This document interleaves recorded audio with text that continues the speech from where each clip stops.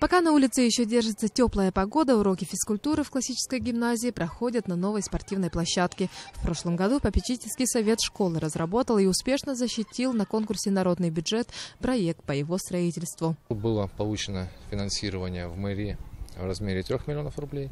Порядка полутора миллионов рублей было собрано э, спонсорами, родителями.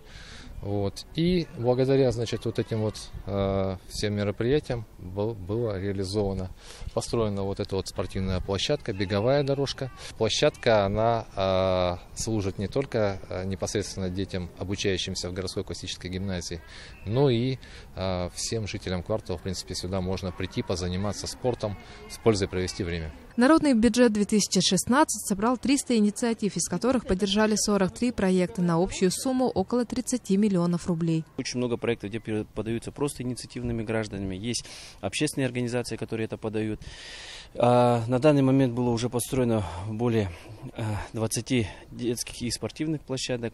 Проведено 17 благотворительных мероприятий. Проводится огромное количество мероприятий, направленных на поддержку людей с ограниченными возможностями. То есть те проекты, которые облагораживают город и делают наш город и наших жителей еще лучше.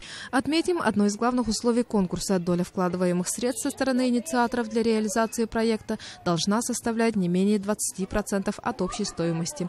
Подать заявку на участие можно до 1 ноября в администрации города или через интернет-портал One Click Якутск. Саргалан Захарова, Георгий Григорьев, НВК Саха, Якутск.